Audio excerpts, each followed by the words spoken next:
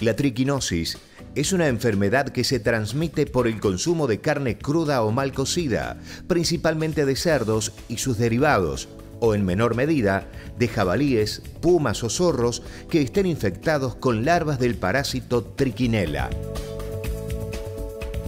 La triquinosis está asociada a la falta de cuidados sanitarios en la cría de cerdos y sus malos hábitos alimenticios.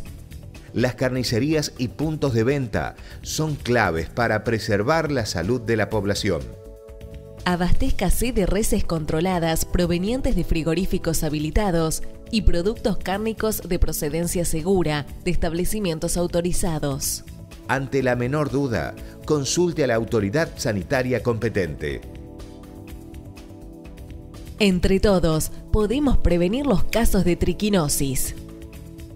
Secretaría de Alimentos, Ministerio de Agricultura, Ganadería y Alimentos, Gobierno de la Provincia de Córdoba.